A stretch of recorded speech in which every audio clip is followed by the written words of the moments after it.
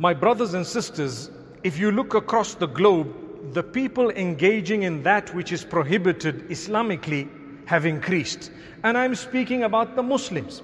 So if you look at, for example, intoxicants, people are actually consuming and partaking of that which Allah has prohibited. You and I know that anything that intoxicates your mind is actually prohibited. ما أسكر كثيره فقليله حرام. The Prophet ﷺ says, that which intoxicates you, if you were to consume a lot of it, then even a little of it is prohibited. Unfortunately, today, you have people who are Muslim.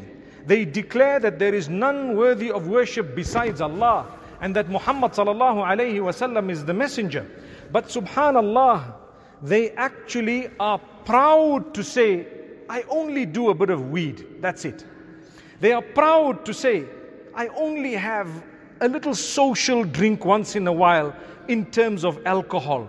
I have a small glass of wine once in a while, not too bad. Not too bad, subhanallah. Look at how the terminology has changed when Allah subhanahu wa ta'ala says, إنما الخمر والميسر والأنصاب والأزلام رجس رجس من عمل الشيطان فاجتنبوه لعلكم تفلحون Allah lists four items.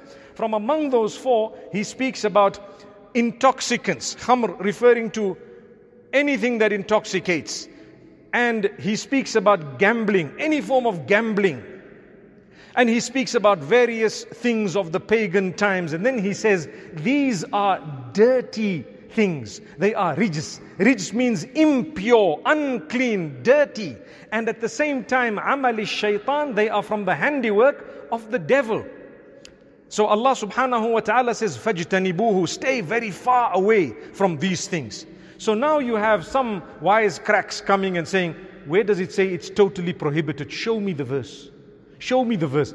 It's like zina and adultery. Allah says, وَلَا تَقْرَبُوا الزِّنَا Don't even go close to adultery.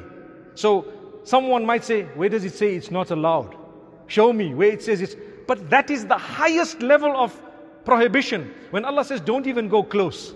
So when it comes to intoxicants, Allah subhanahu wa ta'ala says, stay far away from it. فَاجْتَنِبُوهُ Why? لَعَلَّكُمْ تُفْلِحُونَ In order that you achieve success.